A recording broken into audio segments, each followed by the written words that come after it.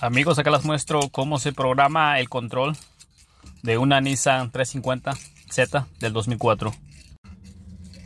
Como primer paso, una vez estando dentro del auto, eh, cierran la puerta y presionan el, el botón para laquear las dos puertas.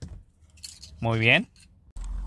Segundo paso, vamos a insertar la llave 10 veces durante 10 segundos y luego dejar la llave en el modo de accesorio. Aquí, mira.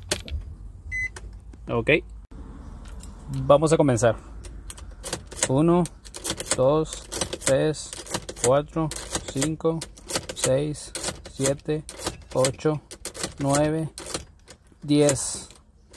Y lo dejamos en accesorio. Tercer paso, vamos a presionar el botón deslaquear y abrir la puerta. Lo vuelves a cerrar y sacas la llave.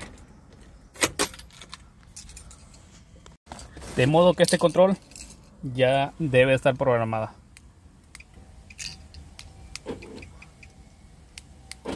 Sí, ya se programó el control.